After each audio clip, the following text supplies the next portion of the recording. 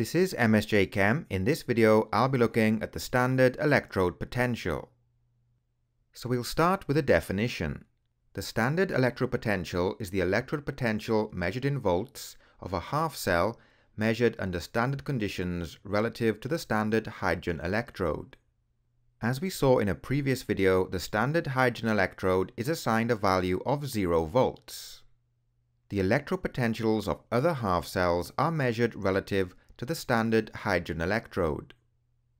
Section 24 of the IB Chemistry data booklet has a list of standard electrode potential values. The more negative the electrode potential value, the stronger the reducing agent. So these half cells at the top of the table have the more negative electrode potential values. This means they are stronger reducing agents and more likely to undergo oxidation. The more positive the electrode potential value, the stronger the oxidizing agent. So these half cells at the bottom of the table, these have the more positive electrode potential values. This means they are stronger oxidizing agents and more likely to undergo reduction. Next we look at the reactions that take place when a zinc half cell is connected to a standard hydrogen electrode. So here we can see the zinc half cell on the left and the standard hydrogen electrode on the right. Oxidation takes place at the zinc half cell, which is the anode, and the electrons flow to the cathode, which is the standard hydrogen electrode. The reading on the voltmeter shows 0.76 volts. And here we have the half equations for the reactions that take place in each half cell. So we have the oxidation of zinc metal to form zinc ions, and the reduction of hydrogen ions to form hydrogen gas. And here we can see the net ionic equation for the reaction. So as we saw in the previous slide, oxidation occurs at the zinc half cell and reduction occurs at the standard hydrogen electrode. This is because the standard electrode potential value for the zinc half cell, which is negative 0.76 volts, is more negative than that of the standard hydrogen electrode. The cell potential, that's the voltage produced when the two half cells are connected, can be calculated using this equation.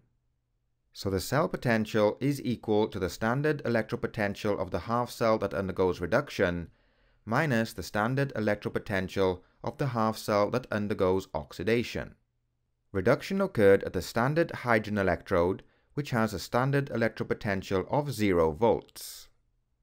Oxidation occurred at the zinc half cell, which has a standard electrode potential of negative 0.76 volts. So this gives us a cell potential of positive 0.76 volts, which is the same as the reading on the voltmeter in the previous slide. In the next example, we have a copper half cell connected to a standard hydrogen electrode. The reading on the voltmeter shows 0.34 volts. If we look at the flow of electrons, they flow from the anode, which in this case is the standard hydrogen electrode, to the cathode, which is the copper half cell. And here we have the half equations for the reactions that take place in each half cell. In the copper half cell, copper ions are reduced to form copper metal. In the standard hydrogen electrode, hydrogen gas is oxidized to form hydrogen ions. And here we can see the net ionic equation for the reaction. So in the previous slide, we saw that oxidation occurs at the standard hydrogen electrode and reduction occurs at the copper half cell. This is because the standard electrode potential for the copper half cell, which is positive 0.34 volts, is more positive than that of the standard hydrogen electrode. Once again, we can use this equation to calculate the cell potential. So the copper half cell undergoes reduction and the standard hydrogen electrode undergoes oxidation. This gives us a cell potential of positive 0.34 volts. So let's end with a summary referring back to section 24 of the IB data booklet. When a half cell above hydrogen in the electrochemical series is connected to a standard hydrogen electrode, electrons flow from the half cell to the standard hydrogen electrode and the electrode potential value is negative. So when connected to a standard hydrogen electrode, any half cell from lead upwards will undergo oxidation. This is because the metal in the half cell is a stronger reducing agent than hydrogen gas. Conversely, when a half cell below hydrogen in the electrochemical series is connected to a standard hydrogen electrode, electrons flow to the half cell from the standard hydrogen electrode and the electrode potential value is positive. So when connected to a standard hydrogen electrode, any half cell below hydrogen, starting with this copper half cell, will undergo reduction.